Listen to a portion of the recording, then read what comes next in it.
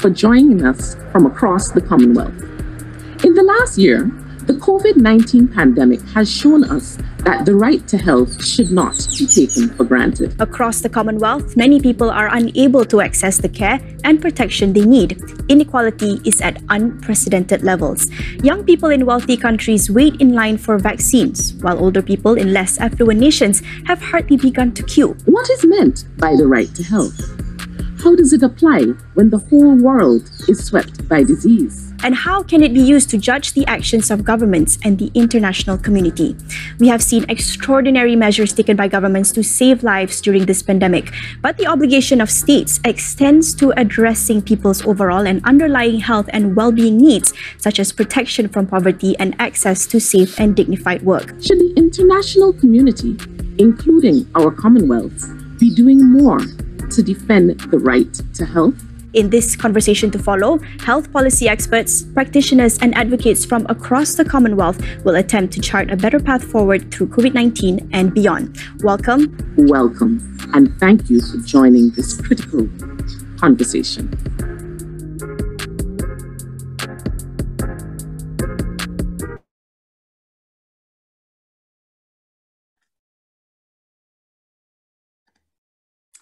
Um, Good afternoon, good morning, and good evening to everyone who has joined us today. Um, I understand there are about 3,000 people who have registered for this event from all across the world, I believe from about 107 countries, so welcome to all of you. Uh, my name is Ines Hassan. I am a senior, senior coordinator at the International Science Council, and I'm honoured that the Commonwealth Foundation has asked me to host this critical conversation today. The topic today is, of course, focused on the right to health uh, in, in the time of crisis. And we're going to try and understand what the lessons uh, learned, what, what, lessons we can learn um, from the COVID-19 pandemic specifically. Um, we're really going to try and interrogate um, how the right to health framework itself has stood up against the pandemic and highlight what has worked, where it has worked, when it has worked, and of course, what hasn't quite gone to plan. The right to health, first articulated in the 1946 Constitution of the WHO, is often, is often associated with an access to healthcare services. Of course, everybody should have access to good quality healthcare um, when and where they need them without suffering financial hardship. Um, but no one, no one should get sick and die just because they're poor or they can't access these, these services. But as our panelists will tell us later on today, the right to health actually includes a much wider range of factors um, that help us lead healthy lives, such as safe drinking water, adequate uh, sanitation, safe food access, nutrition, uh, housing, health, working, environmental conditions, and gender and racial equality, and, and so much more. So these ideas, of course, are not new.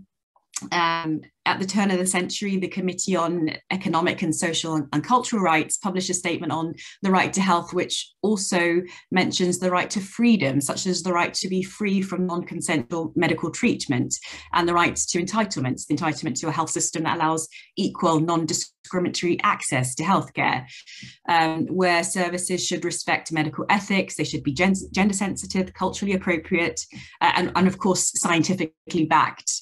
Um, also, it states that populations should be involved in health related decision making at national and community levels. Of course, based on this you know, ideal definition, uh, we as a global community have a long way to go before we can deliver on, on these requirements in actually any country across the world. Um, what has been really clear uh, throughout uh, this pandemic is that the outcomes um, of COVID 19 has been severely exacerbated by human rights failures. We've seen marginalized and disadvantaged populations in nearly all countries across the world who have higher rates of morbidity and mortality from COVID 19. Um, and these risks and, uh, underscore the imperative for a more coordinated human rights based uh, response to the pandemic and, and to other um, uh, health emergencies, um, and especially so that it protects health by realizing those rights and prioritizing those who are, of course, most vulnerable. Another really well publicized issue is in vaccine equity, vaccine accessibility, which has been uh, talked about all across the world. Interestingly, the International Covenant on Economic, Social, and Cultural Rights lays out um, obligations for international assistance and cooperation. And this is widely understood to include equitable, equitable goals for vaccine distribution today. Uh, I looked at the Our World uh, in Data website uh, just this morning, and as of today, only 0.8% of all the people in Africa have received a single dose of the COVID 19 vac- vaccine, vaccine, or one of the many vaccines, um, compared to 27% in North America and 20% in Europe. So we, of course, have a very, very long, long way to go. Anyway, enough from me. You've, here, you've come here to hear um, from our experts. And so I would now like to warmly welcome our esteemed panel today.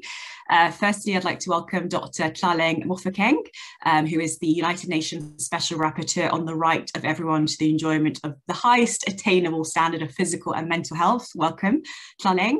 I'd also like to welcome Mr. Allan Maleche, uh, an advocate of the High Court of Kenya and a human rights defender. Uh, Allan will only be joining us for the first hour today, so we'll hopefully try and get as many of his thoughts as possible um, in that first hour. I'd also like to welcome Dr. Ana Amaya, um, an assistant professor at Pace University, and Dr. Uh, Githinji uh, Gitahi, um, the CEO of Amref Health uh, in Africa. So welcome to all of you. Um, before we get started, I was told that I need to let the audience know that questions are welcome at, at any time via the Q&A function. You should be able to have access to that. Uh, and if possible and you feel uh, comfortable, please state your name uh, and country when submitting questions. Um, and if we don't answer all your questions, I've been assured that we're going to be developing some of those uh, common questions into, into, blogs. And so please watch out for those on the Commonwealth um, Foundation website. Okay, fantastic. So I think we should start off um, by maybe getting some thoughts from the experts on uh, what you understand, uh, what, what do you understand by the term a right to health? So let me turn first to Tlaleng. Um, how would you define the right to health? I think you're on mute. There we go. Thank you so much um, for the invitation and good day to the colleagues and all of the participants. Um, for me, I think it's a simple one. Um, I draw, of course, my work and my mandate um, from the Office of the High Commissioner, but specifically from the International Covenant on Economic, Social, and Cultural Rights, and also um, in General Comment number 14, which further defines mostly obligations, right, that state parties have to fulfill um, in order to implement the right to health at the national level. But we know that the right to health um, is interrelated and interconnected um, to other rights, and it's an inclusive right. Um, and it extends not only to the idea of people getting access to health services, um, or appropriate health care, but also encompasses and, and, and also includes underlying determinants of health, such as adequate supply of safe food, nutrition, and housing, access to safe and portable and adequate sanitation, healthy occupational and environmental conditions. And I think even more importantly for someone like myself who comes into the mandate from a sexual and reproductive health rights background, the right to health includes access to health related information and education including on sexual and reproductive health. And I think that's for me is really um, the main broad definition of the right to physical and mental health. And of course, it is a broad concept that can be broken down into more specific entitlements such as maternal, child, and reproductive health, informed consent, bodily integrity, and freedom from torture, ill treatment, and harmful, harmful practices, as well as entitlements to healthy natural and workplace environments, and the prevention and treatment and control of diseases include access to essential medicines, which I think is what brings us today.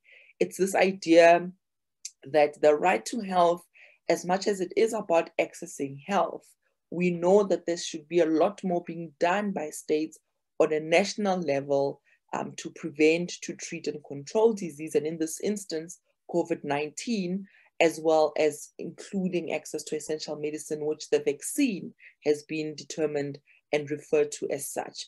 And so it's very important for me um, to locate the discussions within those definitions, again, given to us by the International Covenant on Economic and Social and Cultural Rights. Thank you. Thank you, Tlaleng.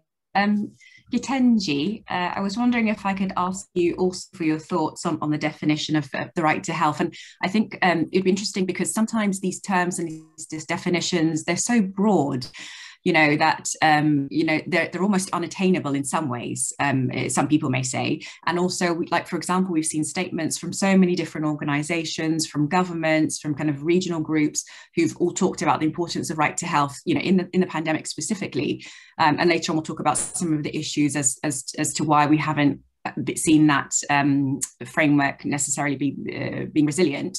Um, so I just wanted to know, like, uh, any thoughts on the definition itself, and also, um, you know, is do you think the definition well well understood?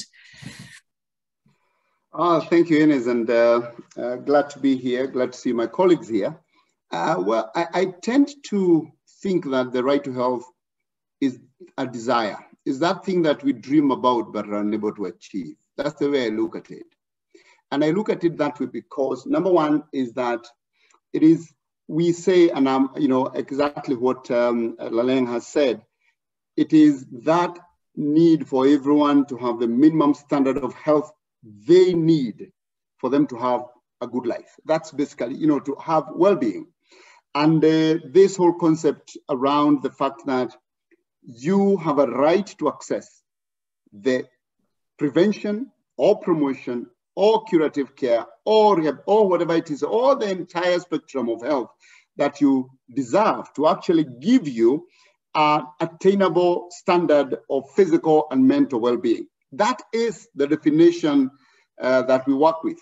But when you look at where we are, the right to health is seen as something that um, it's a desire. It's not something that we want to achieve. And that's actually the disaster of all this. And I think that's what has probably precipitated some of this conversation.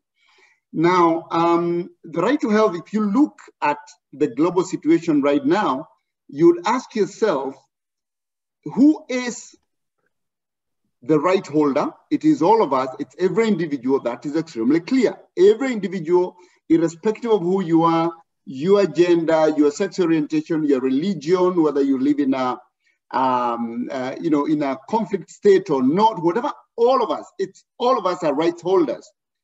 But the question is, who is the duty bearer in this framework? And that's really where the issue is.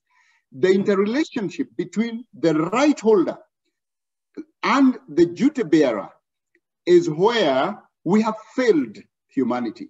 I actually tend to think that the right to health, Ines, is the most fundamental human right without which none of the other rights we provide to people can be enjoyed.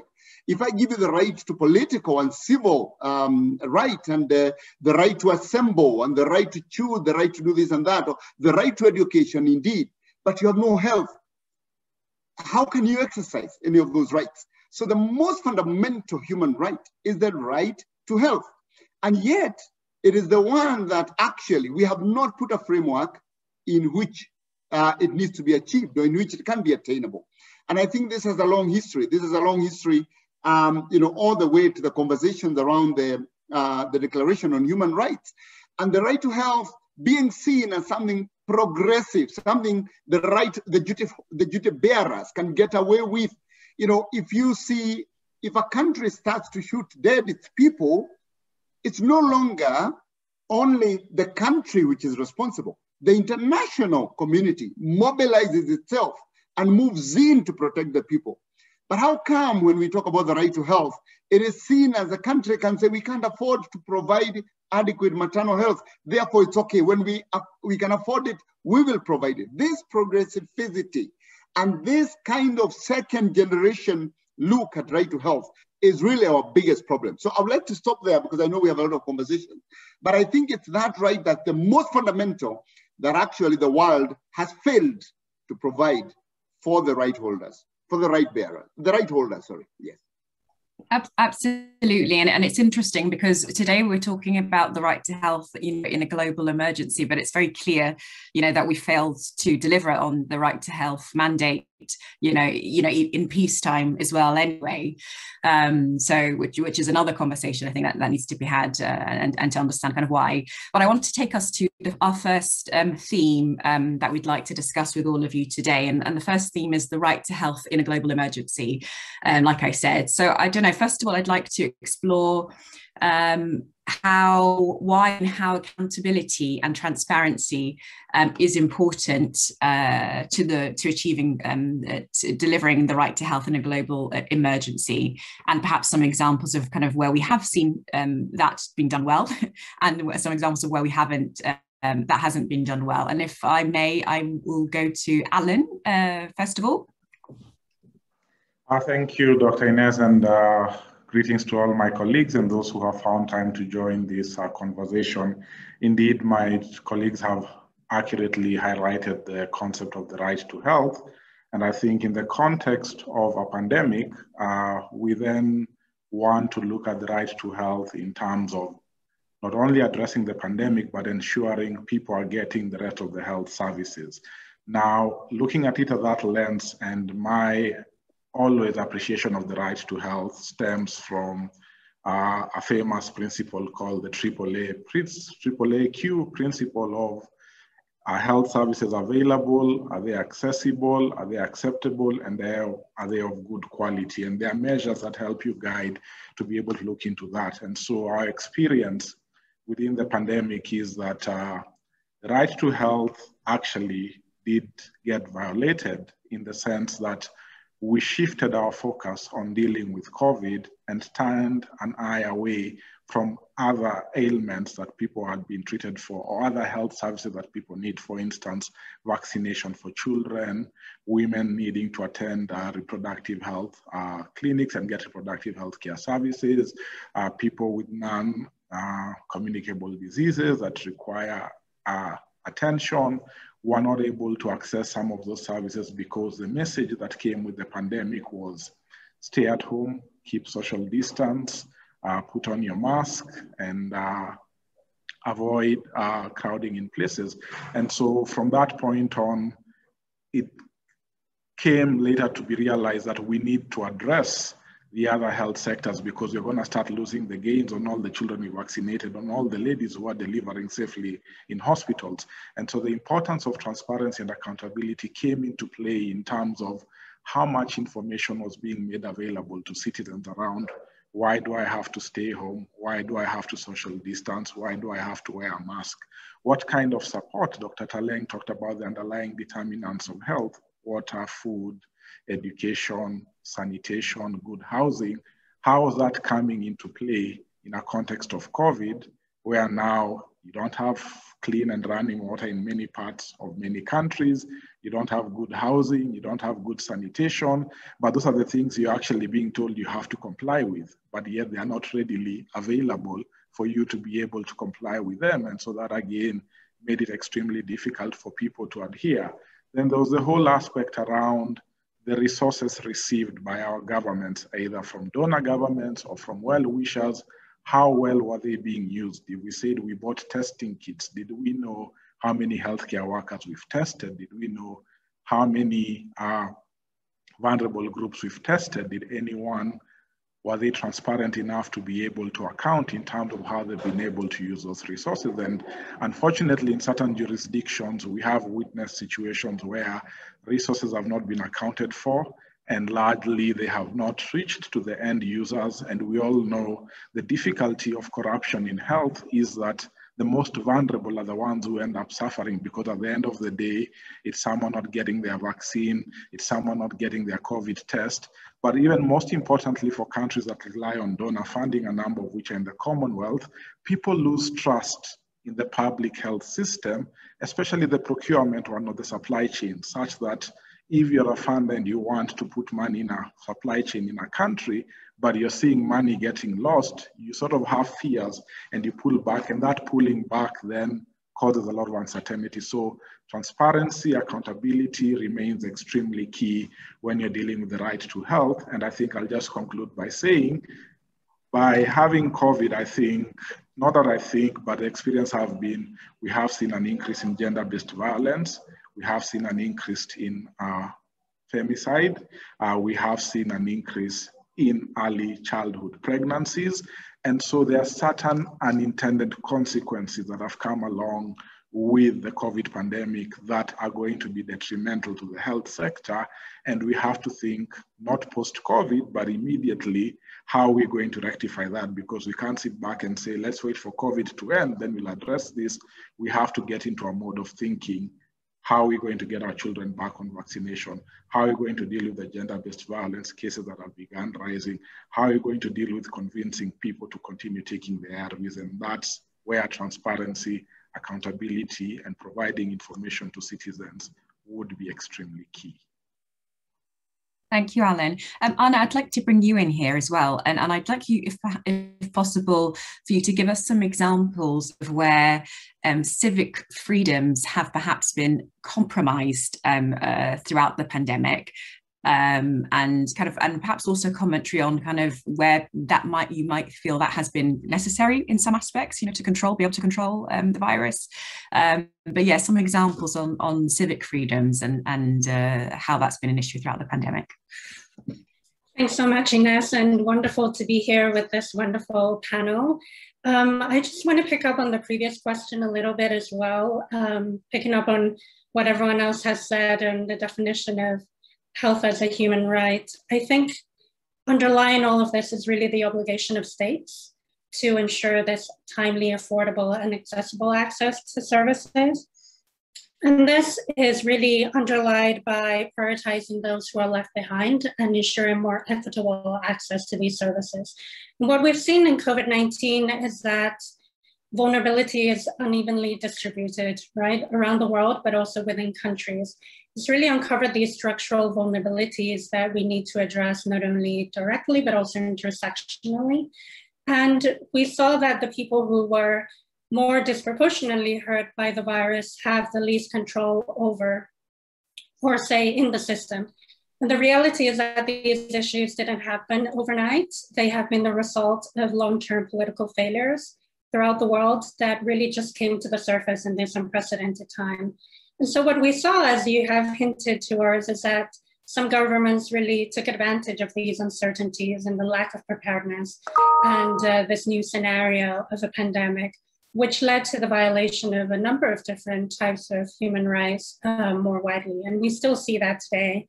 Um, we've seen um, uh, limitations on um, access to not only services, but also the ability to um, have freedom of speech, freedom of assembly, of course, and obviously the, the balance that has to be struck at this moment had been number one, making sure that we have these public health measures in place, but at the other at the other side, also making sure that we're allowing people to access these rights that they have. And so this is where it becomes tricky um, in terms of ensuring these fundamental rights but also making sure that we are controlling a disease that in the beginning we didn't understand. But at this time, we understand the disease much more, and these violations continue to happen. Obviously, um, there are a number of different examples. Uh, my country, El Salvador, there's a lack of transparency still in terms of data, in terms of cases. And in many countries, there's still not access to really what are the number of cases what is the government doing? Um, Allan uh, mentioned a little bit uh, the lack of accountability and lack of corruption and the situation of corruption that we find ourselves in. And what's important to note is that corruption doesn't just happen in low income countries. We've seen cases of corruption in terms of procurement. Also in high income countries, there are some studies done currently in the European Union.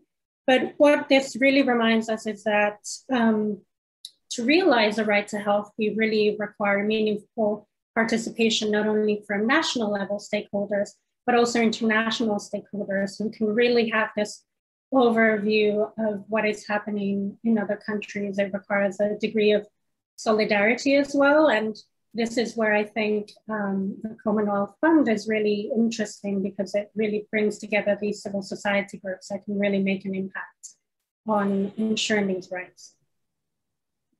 I wanted to just follow up, and this is a question for any kind of member of the panel. But so we talk about um, uh, state involvement uh, in in uh, kind of in, in our health. As states have never been so involved, you know, in, in, our in our health as they have been throughout this pandemic. You know, and so in some ways you can say that it's good that the state has been involved because everybody has a right to health. So they're providing more access. We've you know even though it's inadequate in many cases, they're providing as much support when we're homesick or isolating, never you know, in unprecedented ways. So in that ways you can say it's good. Um, and then in other ways, it's also infringing on our human rights, you know, restricting our right, rights to movement. They're, um, you know, uh, have, having access to uh, what we're doing, where we're based. And so I don't know if anybody would like to comment on, you know, that balance of state involvement and, and infringing on rights, but also helping right our rights through uh, through health. And Allan, you look like you want to comment. Yeah, I think I'll, I'll give that a try because it's true, we all as human beings have human rights and we come from different countries and our constitutions give uh, different rights. And I must also admit that rights can be limited except for certain specific rights that are spelled out in the constitution that cannot be limited. And I think the challenge that came with COVID is that that limitation was not well explained for people to be able to understand why then is this right being limited? Why am I not being allowed to have the freedom of association? Why is my freedom of movement not being uh, allowed at this point of time? And I think the challenge I saw and I experienced with many people is that people never made at the early stages the connection around why then do I lose my ability to be able to freely go to a social gathering, to freely go to a wedding, because of the context of the pandemic. And I think in many jurisdictions in the Commonwealth, again, the limitation of rights based on the constitutions they have is normally supposed to be done by parliament. But in our many jurisdictions, this was mostly done by the executive giving executive directives that either could not be challenged in a court, some have been, but mostly it came from directives from the executive. Yet the COVID-19 pandemic did not mean we're in a state of emergency. So the rules, regulations, and human rights were not suspended. But because of the urgency many executive had to try and put enforcements into place, say, stopping flights from coming in, ensuring people quarantine, there was a bit of zeal there. And I think that's where the tension came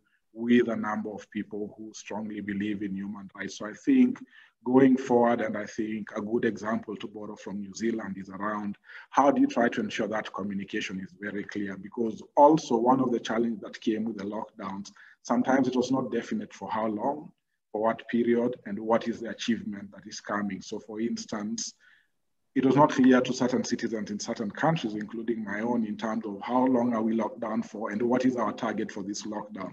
Are we looking to test a million people to know where we are with the pandemic? Are we looking to vaccinate a million people to help us know how we are moving? The common line is that we are flattening the curve. But again, for many local citizens, that becomes a challenge because when you're locked down and you don't have access to your daily resources, your daily food, your daily wages, it then becomes difficult. So I think the rights can be limited, but I think the challenge we have seen across a number of Commonwealth countries and other countries broadly is that the manner of limiting that those rights did not largely follow the law or were not done well in a way that citizens could be able to understand why those rights are limited. And in certain cases, it was quite brutal, especially where a number of jurisdictions did allow use of police and the use of uh, uh, force in terms of enforcing public health measures, which again, as we know as healthcare people, it's very counterproductive when you're taking public health measures that require people to be persuaded and convinced on why they need to follow a process, and then you choose to take a more utilitarian approach that really does discourage people. Over to you, Ines. Thank you very much, Allan. I think we're going to go to some questions from the audience now. So I'm going to be looking on my other screen to read those questions. Um, and so the first question we've had from an audience member is How do you think the COVID 19 pandemic will impact approaches to the right to health in the future? Will we continue to see wider political public engagement with the issue of health in terms of access? And I'd like to take give that question firstly to Githinji, if possible. Githinji. Well, I think uh, what Allan has captured is quite a, a heavy part of, of this conversation. And I think what what COVID-19 has done is demonstrated how relevant um, the investments in human capital through resilience of health systems is important as a protector of social and economic well-being of people.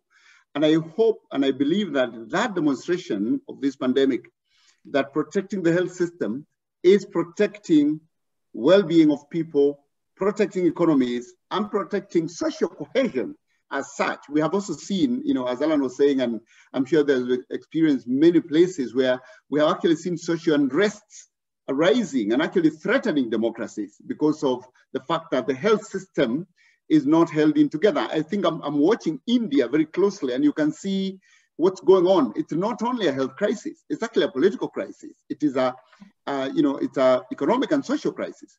So the question that you're asking is, are we going to learn and are we going to change our approach to putting people and human capital at the center of our investments, at the center of our planning, so that we can protect uh, economies and protect uh, communities and protect our political uh, systems. I think to a great extent, many governments will learn and some will not learn. And I think the ones that will learn are the ones that are going to engage the community more part of the challenge that you've seen with abuse of human rights has been the directional declaration that you've seen, where actually because health is a human right, and even movement is a human right, and uh, you know assembly is a human right, there needs to be engagement of the of the of, of those um, rights bearers to know exactly what's going on.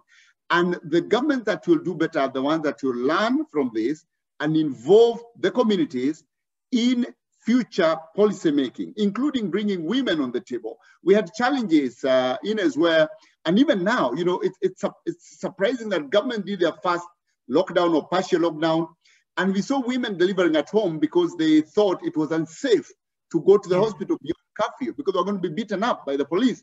And we raised those issues. But when the next lockdown happened, there was still no mention of this issue of saying we are putting a lockdown, but we want to ensure safe passage of uh, women who are pregnant and they're in labor and they need to go to the facility. So governments are not learning, and I think that's the biggest frustration. So on one side, those that learn will do better, and those that don't learn will actually get worse because what this pandemic has done in is also is increase the trust gap between the communities and the people. And that also makes it very difficult to actually provide people their rights when there is no trust. Massive. I completely agree. And I can't tell you, I've been interviewing many experts on the pandemic recently, and the number of times people have said governments just don't learn, uh, I can't even tell you. It's slightly worrying, worrying for us all. Um, we've got a second question. I, I could ask you more questions about that, but we'll go to the audience questions first. Um, second question is how can people with health insurance, uh, without health insurance, sorry, and who are not financially stable access healthcare in times of crisis like COVID-19? And that comes from Adaura um, Anichi uh, from Nigeria. And I'd like to give that question to Tlaleng. Thank you. Um, this is a very important one because many countries around the world are talking about, you know, universal health coverage. They are talking about some form of national health insurance, and we've seen it how in the UK um, it has worked or hasn't worked in certain um, instances. But I think broadly, this is about a question of access, and that um, money and financial means gives you access over others, and that is not equality. That's not equity. Um, and as much as in many countries, in many areas around the world, um, and in some of the Commonwealth countries, um, equality and anti-discrimination laws have been enacted and implemented, um, but equality still remains out of reach for many. And that goes beyond just a class issue. It also is a gendered issue. It's also an issue that affects migrant people who in some countries require to prove um, documentation or proof of address before they can access health services. This is an issue, again, that intersects with issues of sexual orientation and gender identity, um, issues of where you are geographically located, whether you are in a peri-urban or urban center, because it doesn't matter at the end of the day if you have some form of medical insurance. If you are in a rural area that has no road and no electricity and no potable water, that, that health insurance won't yield the desired results because you are far removed from the health um, facilities. And so I think for me, the, the way to go forward is to, is to really look at substantive equality as a goal for all nations and for all of the Commonwealth nations. Um, and this allows us to approach inequality as a problem of structural power and not individual brilliance or class affordability, but a structural power which creates and perpetuates systems of privilege and disadvantage in society. So that's why when we talk about national health insurance, we need to be very clear about who those it leaves behind. Because if we just carry on without questioning the very reason why we are in the space of inequality, we are mm. just going to perpetuate that in the solutions that we come with, right? And because these structural systems and operations are pervasive in both public and private life, they do affect, of course, the determinants of health, but also distribution of basic goods. It leads to exclusion and, and again perpetuates negative myths and harmful stereotypes which operates to disadvantage certain groups of people, like I've mentioned before. So it's about how do we intentionally use intersectionality in how we think about discrimination within laws, policies, and practices in each of our different regions and countries, and see how those in themselves, the law, can be a tool of oppression. And I come from South Africa, so I know this firsthand from colonialism, from apartheid, and now where we are. So I know how laws and policies and practice can be used as models of discrimination. And so we need to look at every single layer of that issue. And again, go back um, to what the states are obligated to do in terms of um, their fulfillment on, on the right to health. It's that they have to give sufficient recognition to the right to health in national, political, and legal systems in a form of legislative implementation, adoption of a national health policy, and a detailed plan. And that's where most people fail. It's in the planning and it's in the resourcing. And so for us to have equity across the board, it has to be laid and the fulfillment it lies in the hands of the governments and the states and not on individual capacity to pay for services. I think we could spend, uh, you know, many hours discussing that in more detail. I'm afraid we have to move on um, to to our next theme, uh, which is a subject which is um, very close to my heart, and that's um, the obligation of the uh, international corpora- uh, corporation. Um, so, what's the obligation of the international community? What obligation do countries have um, to one another uh, in times like this? you know, and also I'd love to hear some examples of where cooperation um, has succeeded, where where they've gone well, and also some, some I think some very obvious examples of where they've where they've fallen short. Um, so I'm going to go back to Ana to to give us some thoughts on this. Yeah, thank you, Ines, and I I think this lends well to what um, my previous panelists were talking about the obligation of states to ensure the right to health, but also the long neglect that states have given to health issues. Um, this, uh, we, we've known for a long time the importance of health for um, people's lives, but yet we have for a long time seen this distinction between economic issues, um, security issues, which are very much front in the agenda and the political agenda, and social um, issues such as health being very much relegated. And so um, obviously the pandemic brings more to the forefront how these are all interrelated. The effects of um, health issues like pandemics on not only security, economics, which um, should be a driver for governments to begin to invest more in health issues, if not because it is their responsibility and also it is um, uh, not only the responsibility, but also this issue of solidarity that you're also bringing up between countries. And so what we've seen is that there have been really good success uh, cases of countries cooperating together uh, for health issues. This is an area that I've studied quite um, extensively because I'm interested in seeing how collective action can really work for health, especially within regions and within countries that have a lot in common. And I think the strength of the Commonwealth countries is really in its diversity. You have members from different continents who bring very specific things to the table. And the importance is really building on those strengths and getting to tangible actions. And so I've seen, obviously, you have um, the, the health ministers meetings and the meetings before World Health Assembly, but also how can these groupings of countries also collaborate with other groupings of countries. We've seen great success from the African Union, obviously with COVID-19 and being able to access vaccines. We also know that several of the Commonwealth countries have the ability to produce medicines and vaccines. So really making the most of that capacity. Um, and obviously uh, bringing to the forefront the importance of health, if not for solidarity and for mutual support and learning, but because it can become a huge catastrophe as we've seen with the pandemic. Okay, thank you. Um, uh, I wonder if Githinji, you could give us some uh, an example of where things have not worked well, and I'd, I'd be interested actually to hear from um, if some, an example in, in Africa, for example, um, where has perhaps cooperation fallen short? And I've been told um, by the organisers that I need to shorten the answers, so can you please stick to two to three minutes per answer? I know it's not easy. I find it difficult to do as well. Sorry.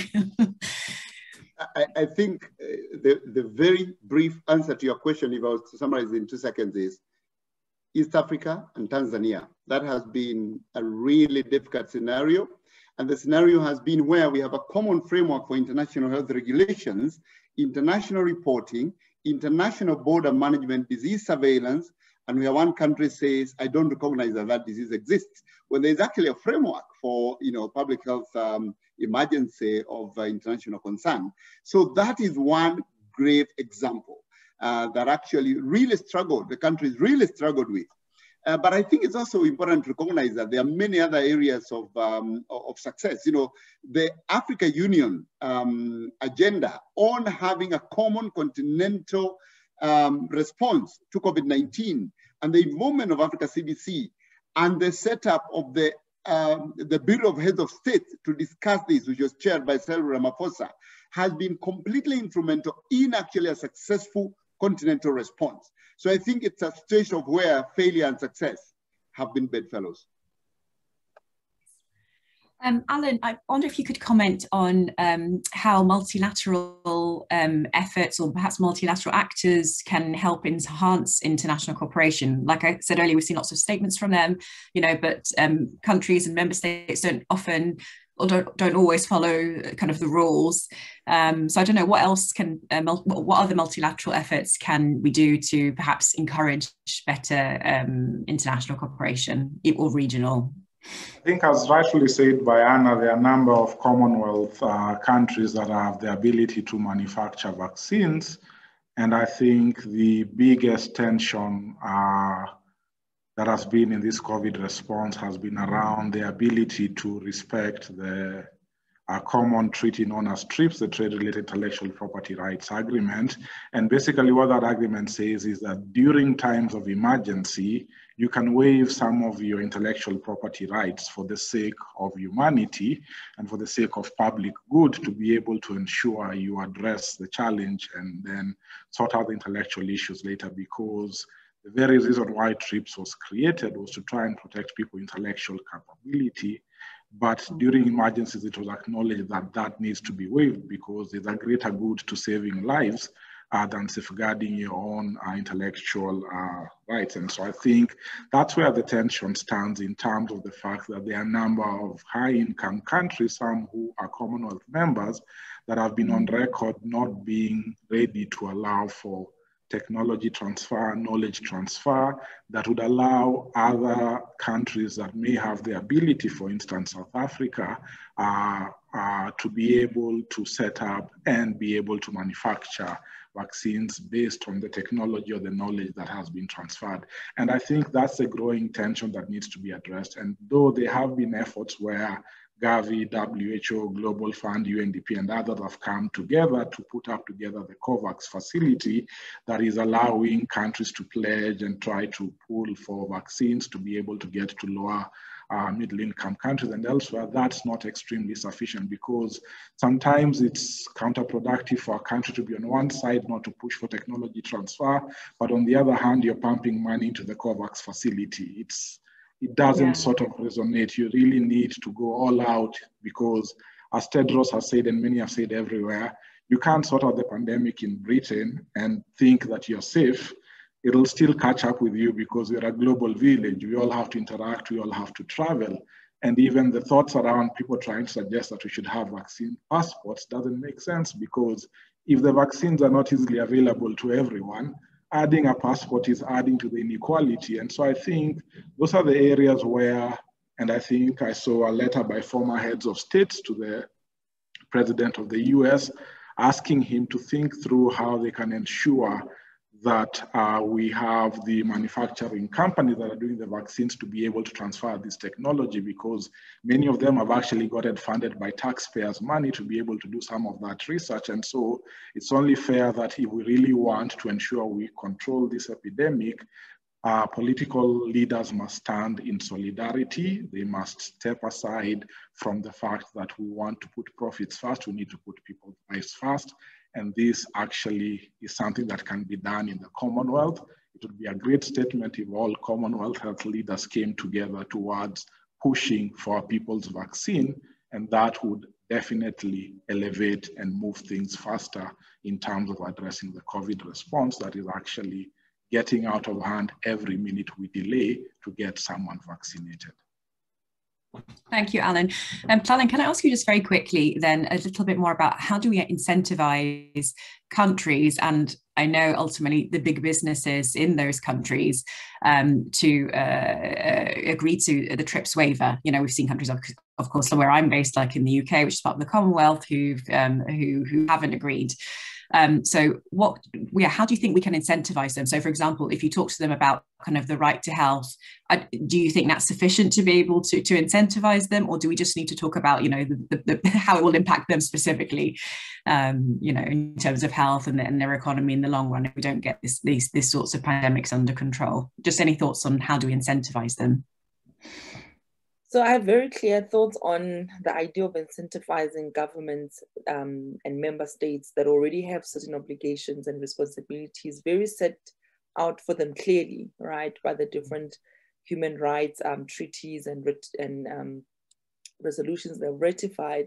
Uh, but if you just think about the fact that even essential medicines is reflecting the sustainable development goals, what what else do people need right? But it's it's it's about transparency um, and accountability. And i think there is a space here for commonwealth members and the foundation itself to remind private companies and pharmaceuticals to discharge their responsibilities including exercise uh, human rights due diligence um, guided and, and set out in the guiding principles on business and human rights. That is already there so it's about pushing internally and doing the advocacy and, and creating the space for civil society to do that. Because in many countries around the world, um, civil society and human rights defenders are being imprisoned and punished because of their activism. So it's about understanding that you particularly um, hold a certain power, right, as the foundation, and how do you use that power?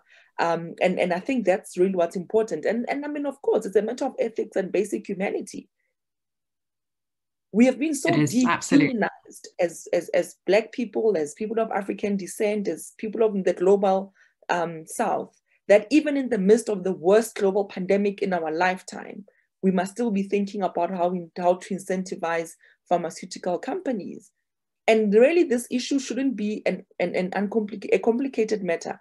But the issue of ethics in this context of the global system of governance is also predicated on deeply unequal hierarchies yeah. on who's who's more human and who's worthy of human rights and so to discuss these issues of ethics and and um, what else can be do can be done to entice the pharmaceutical companies is to bring into question the ethics of the systems we have participated in up until now, where we've normalized that other people in the global north everything must go well they must get all the access and it's okay if they hold on to the science it's okay if they don't support temporary waivers right and yet we know that their economies are established on extraction on minerals, on people from the African continent to enrich themselves. And it's a historic trauma that lives on and on and on. So for me as a Black person sitting here, I'm thinking, what else do I need to do to show up for my humanity that we must still think of incentivizing people to do right in terms of the global community, but also human rights. We have a social contract with each other. And it's about accountability more than incentives. But I hear you, and and and and and perhaps it's a different question from wherever we are all positioned. But it really does boil down to accountability and the fact that people know they can do wrong yeah. And they can violate rights, yeah. and nothing will happen to them. They know that, yeah. and they've never even apologized for previous atrocities. So why why would they now suddenly find clarity with COVID nineteen? Yeah. And I think what's even more disturbing than that, rather even other than just being the governments who, you know, don't fill their social contract for this, but it, most of them are um, they have the goal in mind is the next uh, election cycle, you know, and and then um, and actually, unfortunately, in times like these, we're seeing you know populations being more interested in kind of national interests as opposed to kind of global interest, which which is a real shame. We've had a few questions. I'm going to go now to some questions from the audience, um, and a few more questions related to the TRIPS waiver. So I'm just going to read them and see if um, the, the, the they've been answered some of these questions. So the first question is, what do the panelists think of the call for an emergency TRIPS waiver in the context of the massive state aid provided for the creation of the SARS-CoV-2 vaccines and the need to vaccinate as many people as fast as possible to enable more countries to be able to ramp up vaccine production? Um, and then the, se the, second question on, on the TRIPS waiver, so we can just cover it at the same time, is what can Commonwealth countries do to ensure this proposal is adopted and to ensure that pharma companies um, share their technology and know-how? Um, so I don't know, who would like to answer that question?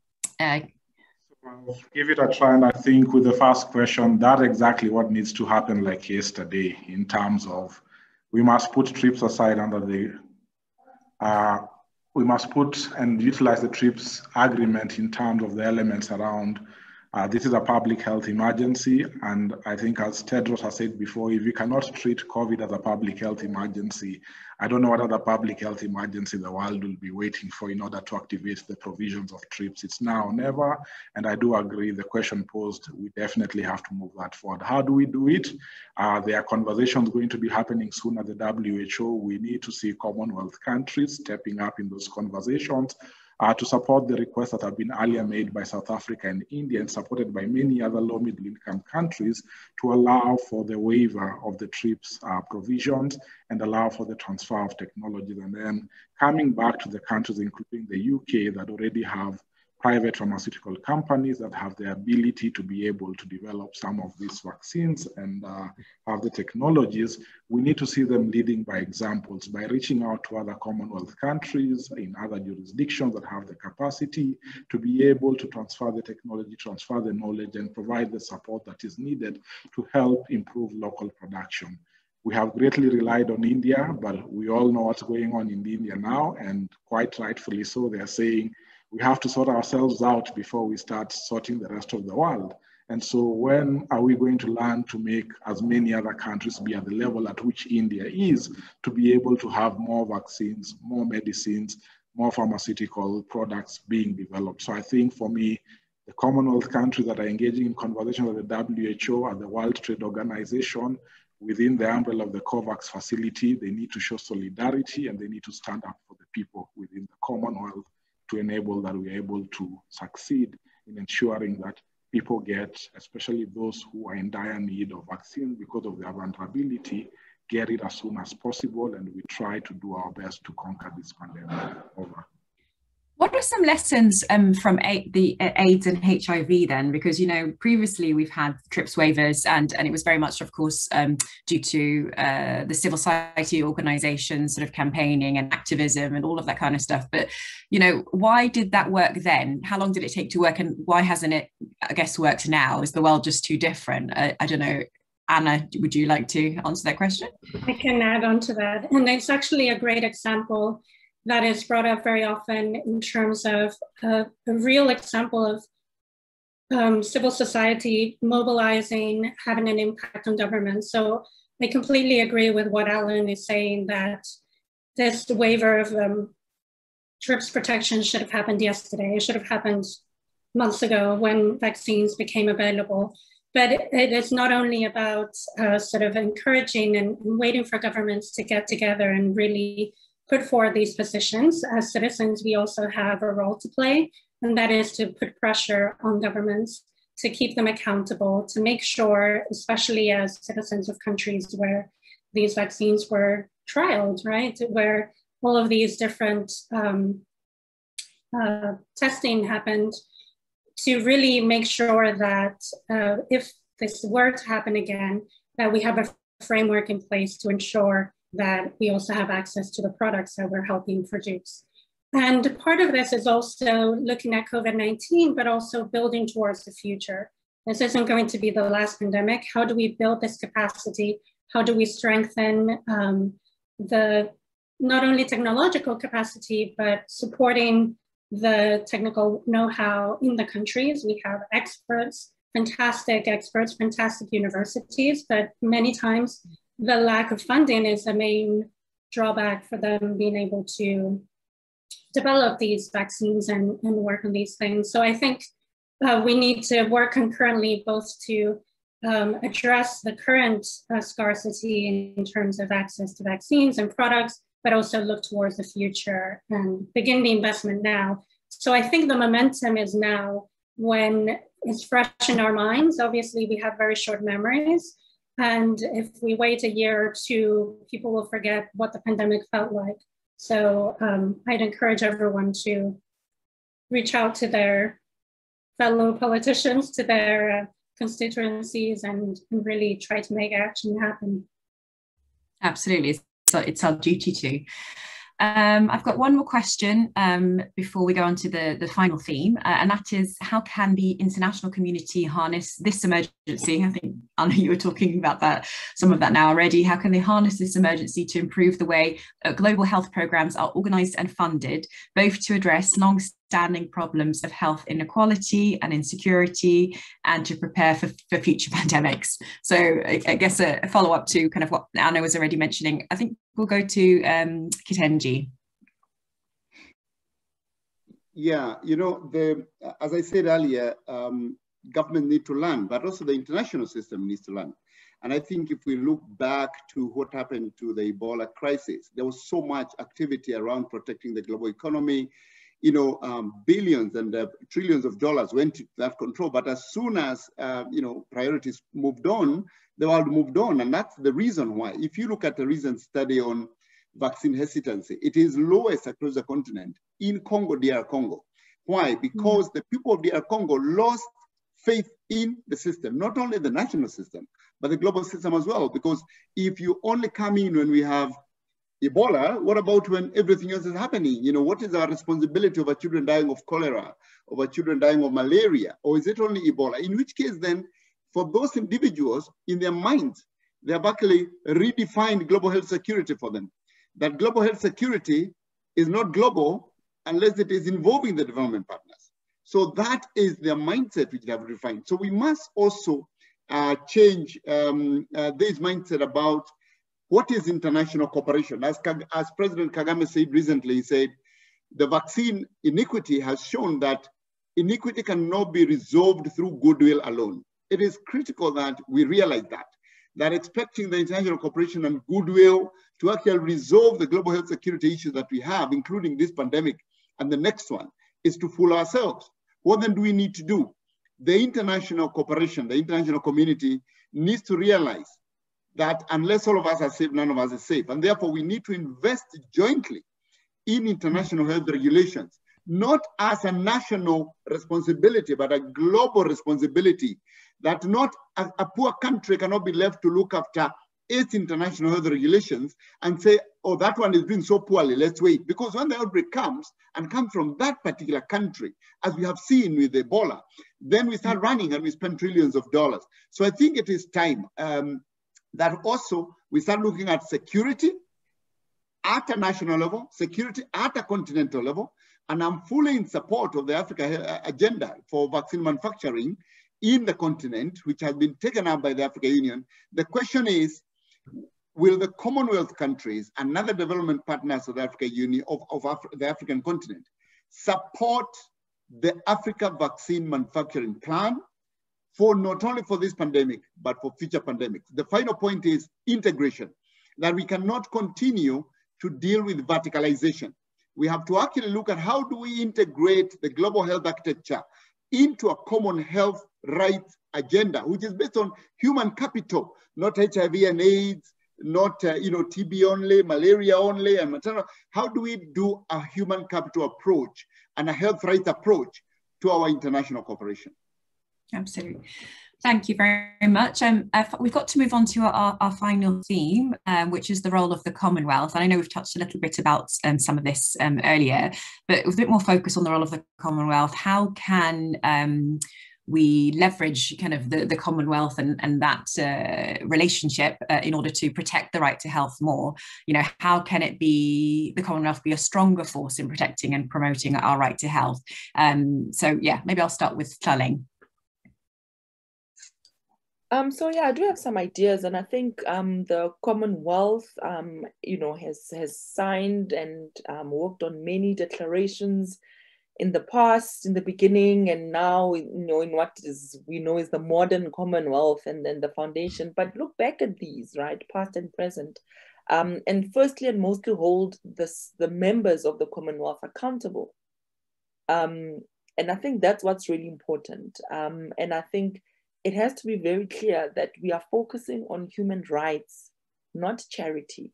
The time of charity is gone.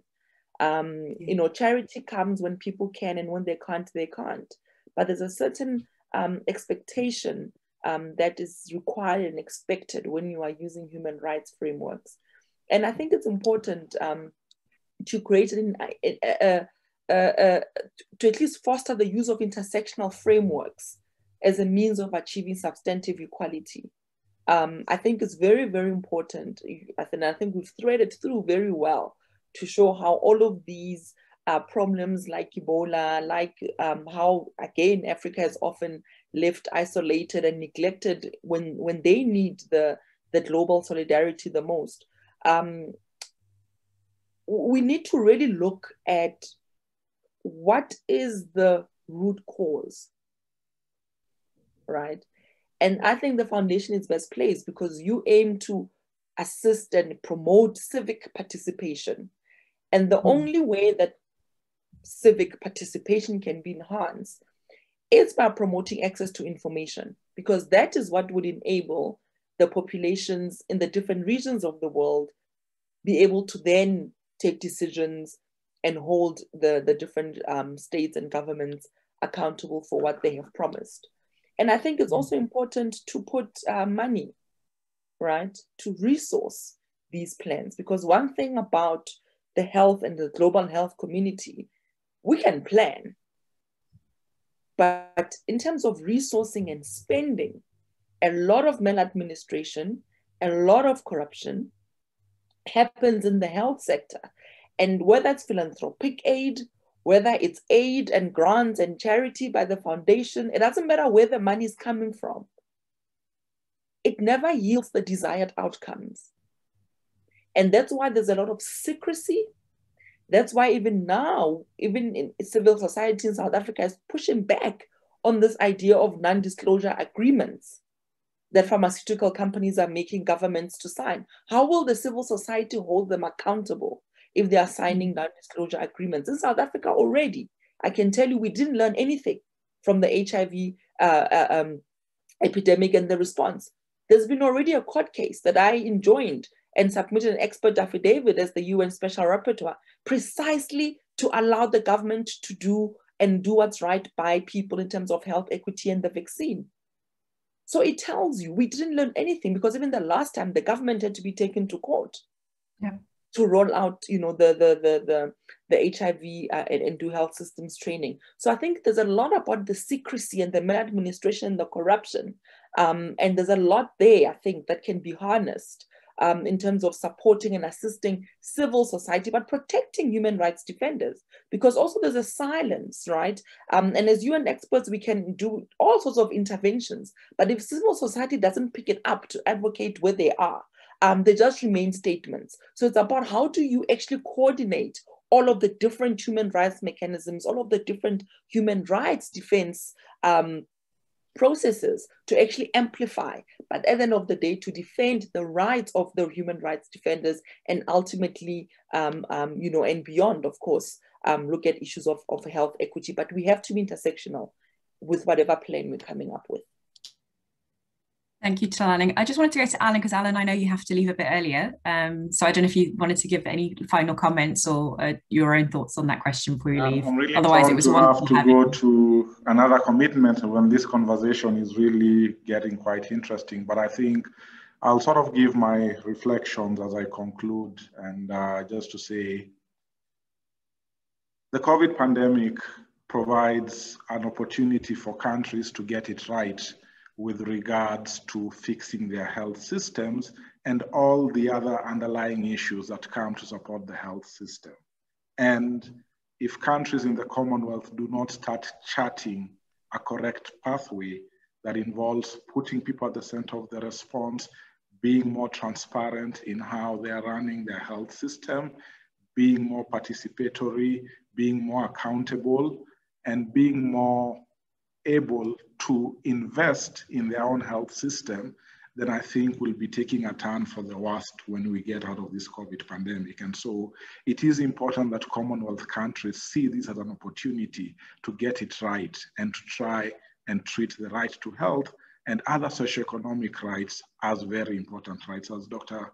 Githinji earlier mentioned, the tension between civil and political rights and social economic rights is quite fundamental. We have seen some Commonwealth countries that have managed to carry out elections during a pandemic, but we are still seeing the same countries that are unable to provide oxygen for patients in their hospitals. So hide an election so important that you do not want to treat people. So I think we have to get the Commonwealth countries to rethink what they're doing. And I think the foundation is doing a great thing to support civil society and other players to play the role of transparency and accountability through giving grants, through supporting such conversations. I think that's something that how you have to do. And I think given that you have access to a number of heads of states, I think opening up spaces for those affected, affected communities, those frontline healthcare workers. I think we need to get them into some of the spaces that you are able to get them to converse with heads of states, uh, to share experiences, and to be able to be persuasive in the way we can convince our leaders to take the right step. But I take it in stride that this is the turning moment for us on matters right to health, and we have no option but to get it right for the sake of humanity. I thank you all for listening, and I wish you well in the rest of the conversations. Looking forward to watching the remainder of the part that I will not be part of. Thank you, colleagues, and thank you everyone for being on. Thank you, Allan. Thank you very much. Thank you. Um, Ana, I'd like to go to you with, with the same question. Um, so yeah, what can the Commonwealth do to kind of protect and promote the right to health? Right, I think there are several approaches to take with this. Obviously, the Commonwealth itself, um, they already have signed a number of agreements and uh, declarations related to COVID-19, but really putting them into practice not only within the country, then trying to address those inequities within countries, but also bringing them to the international level of the World Health um, Assembly, especially where these issues are discussed, and where you can really mobilize uh, more global action. I think there's also um, an opportunity for the individual Commonwealth countries to hold other governments accountable. The interesting thing about the Commonwealth is that members are also also belong to other groupings and other conversations. And so really harnessing and bringing that, that uh, viewpoint from the Commonwealth um, to other conversations like the G7, G20, really being the standard bearers for health um, as a human right. And then finally, of course, we've already mentioned the role of civil society, but also the citizenry really um, trying to hold accountable the governments to these commitments. It might be lovely words on a piece of paper, but are actions actually being implemented? Are we seeing change? Are we seeing uh, real forceful uh, negotiations taking place from these governments at the global level? So those would be um, sort of the different approaches, but then obviously I've already mentioned trying to partner with other uh, groupings of countries uh, that are outside of the Commonwealth and really harnessing those. So there are different uh, regional organizations, obviously.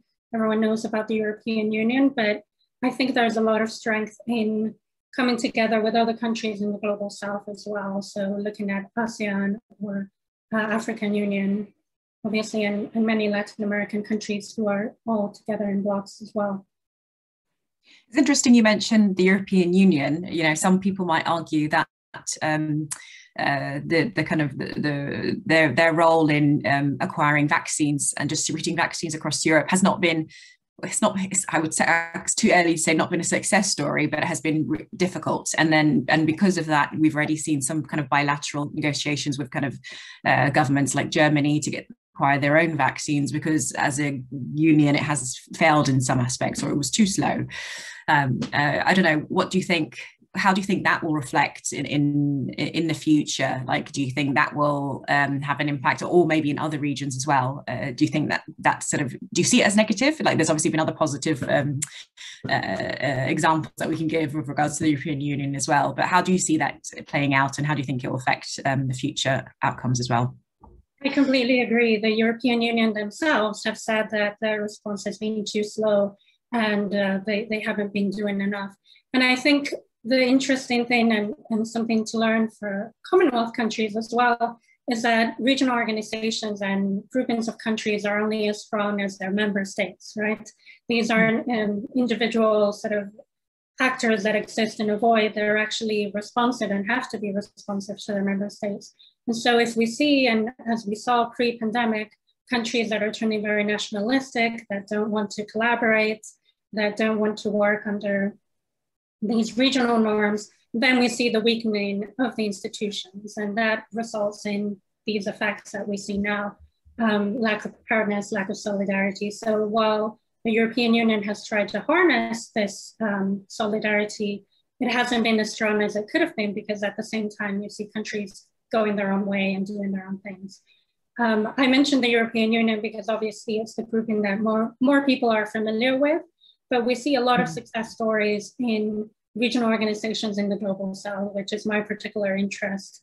Um, very uh, tangible changes in terms of uh, improving access uh, of healthcare workers, stopping the brain drain of healthcare workers even before the pandemic, and very explicit actions related to Ebola as well, um, the Ebola pandemic, and ASEAN, which was very strong in terms of being able to stop SARS from spreading to the rest of the world. Obviously, a few countries did get it.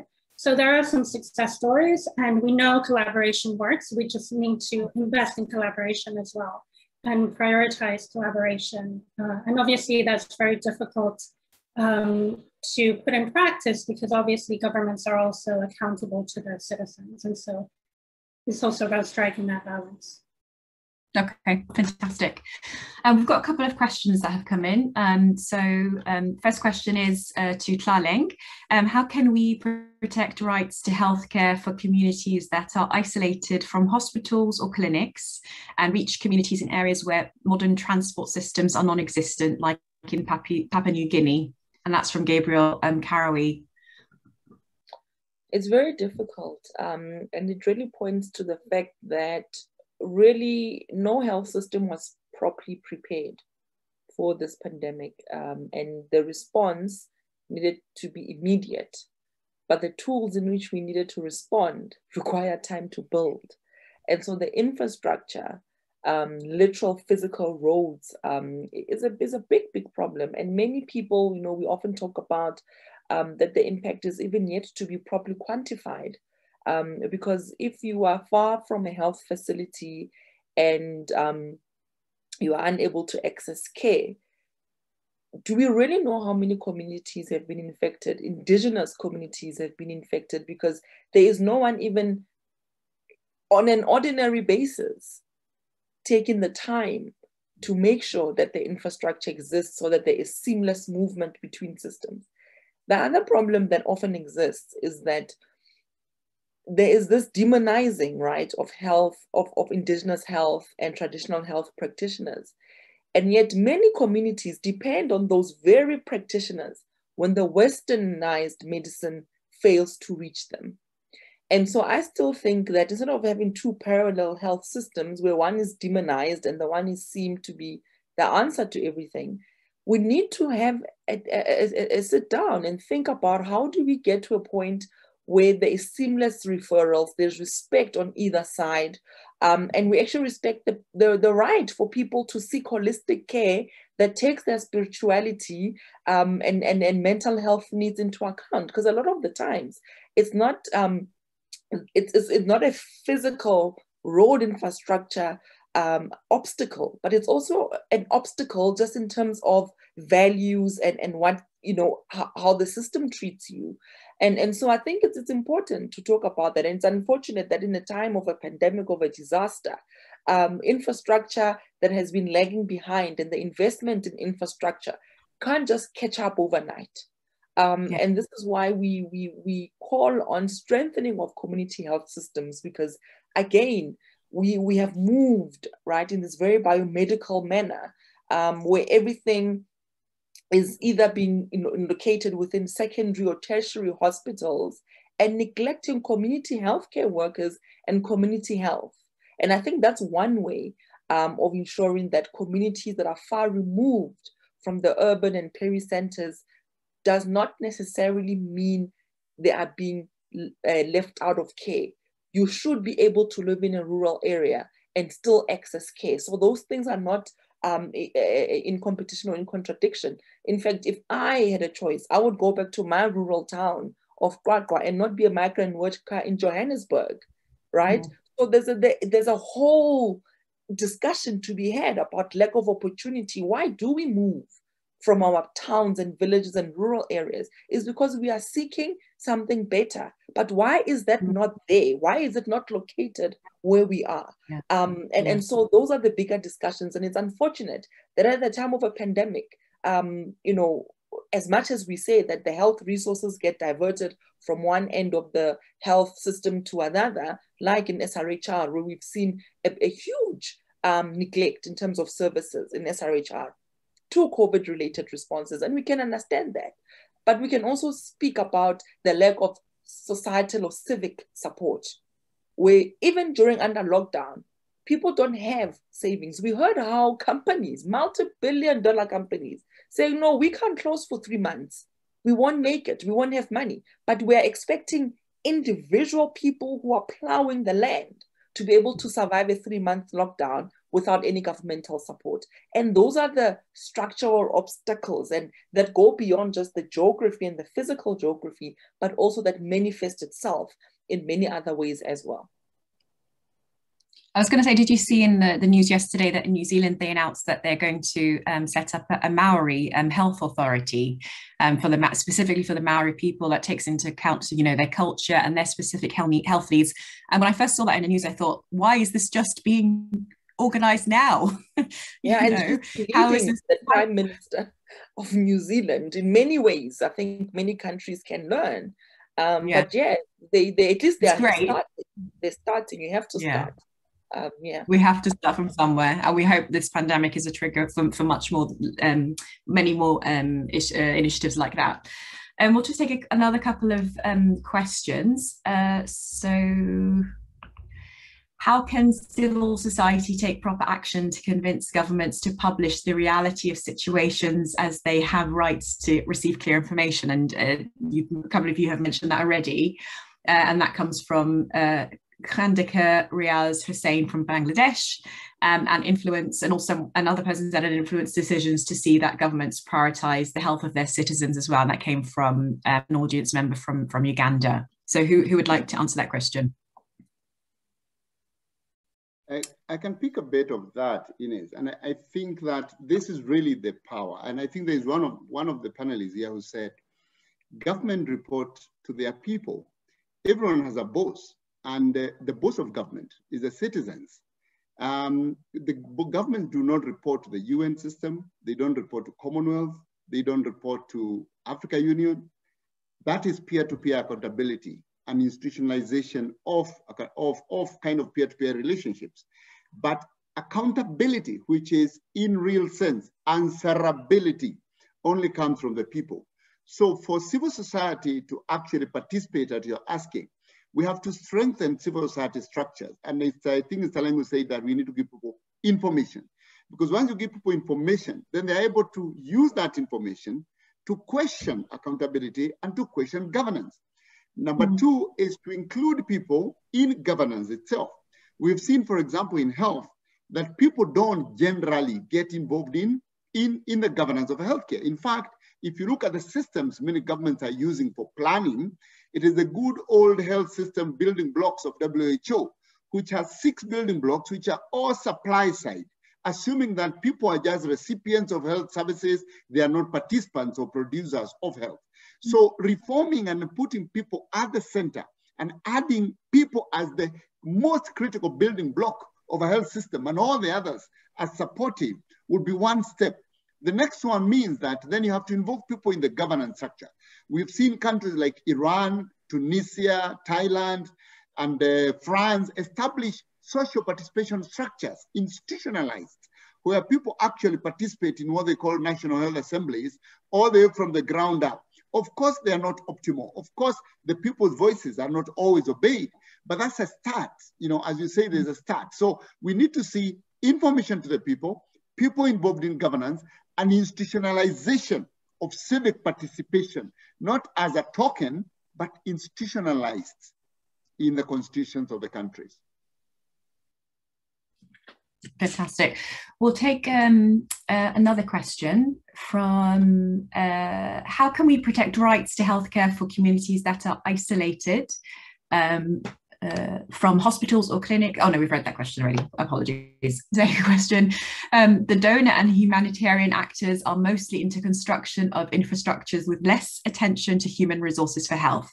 How we all know structures without skilled personnel within primary healthcare services cannot be delivered as desired. How can we improve on this situation that has direct bearing on the health of citizens at the grassroots level? And that comes from Musa Waziri from Nigeria.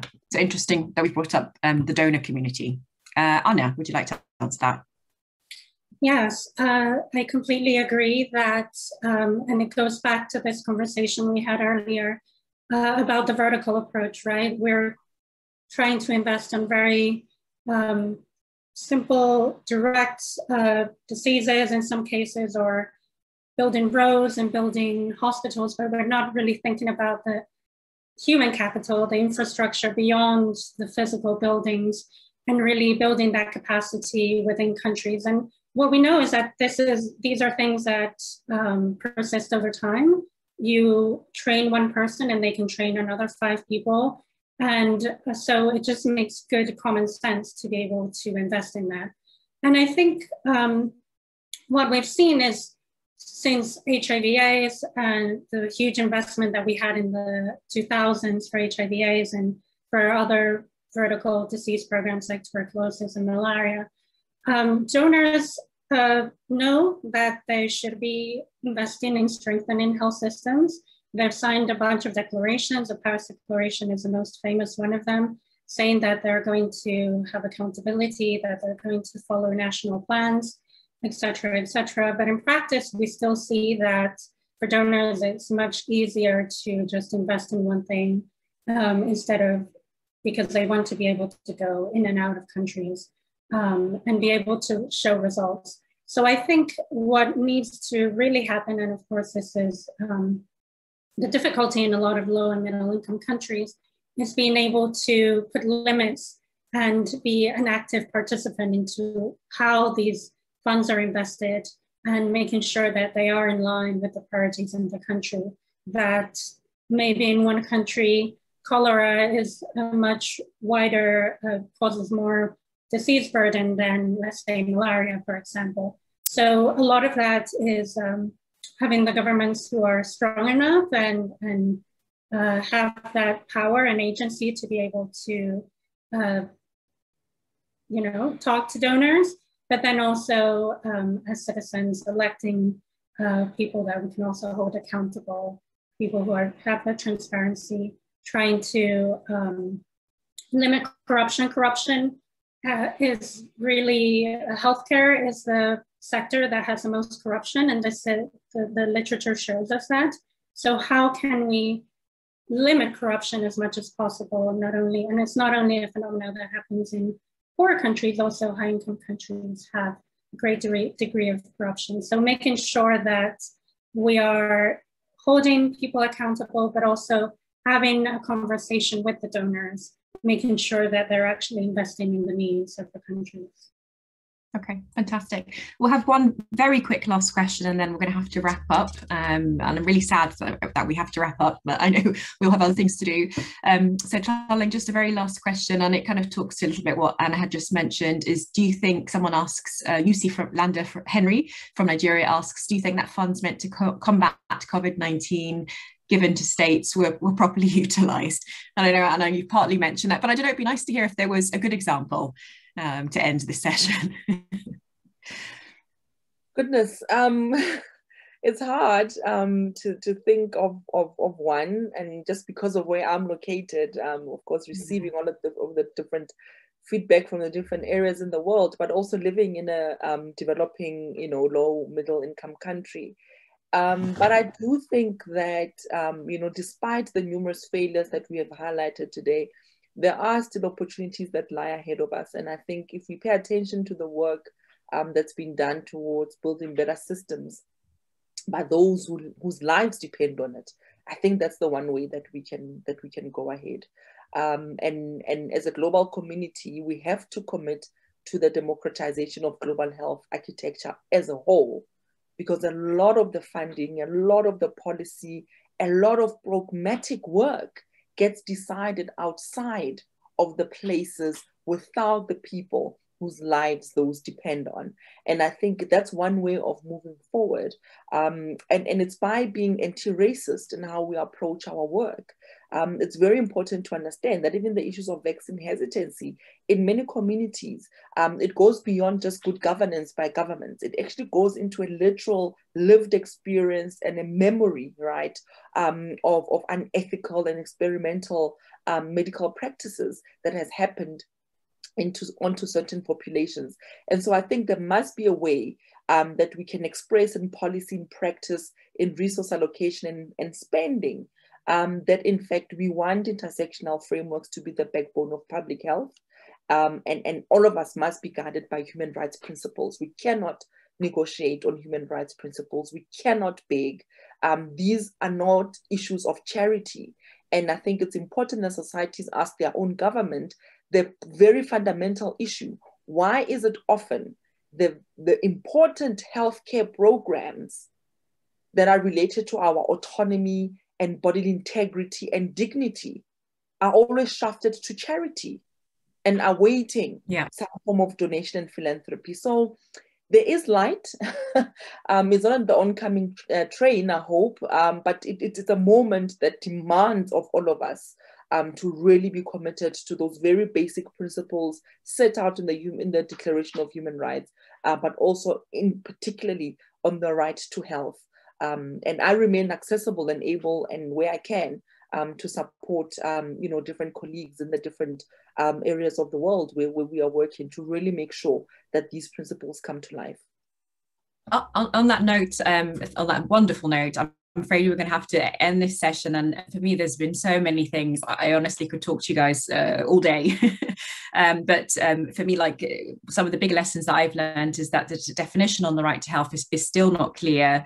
Um, inequity, a big lesson is inequity can't be solved through goodwill. You know, we need new legislation. We need countries and states and everybody to be truly accountable or answerable, as Githinji mentioned. Um, and also um, incentive uh, for health. You know, health as a right is not charity, as Tlaleng told us so many times. Um, it is uh, it's a right, uh, and and actually, what I the most I think enlightening um, or uh, empowering statement that all of you have mentioned, Dana, all Allan, all of you have mentioned, is that um, we um, as civil society we do have um, the opportunity, and if we pull together, we can influence our governments um, to be accountable and, and to um, to collaborate and to kind of really see change. We know that our governments worry about the next election cycle, so let's you know get empower ourselves and, and vote in the right people. Um, so um, on that note, I would just like to once again thank you all of you for sparing your time. I know how busy you all are, um, and thank all of the audience members who listened in and uh, sent through all the questions on behalf of the Commonwealth Foundation. Thank you. Thanks, everybody. Thank Bye.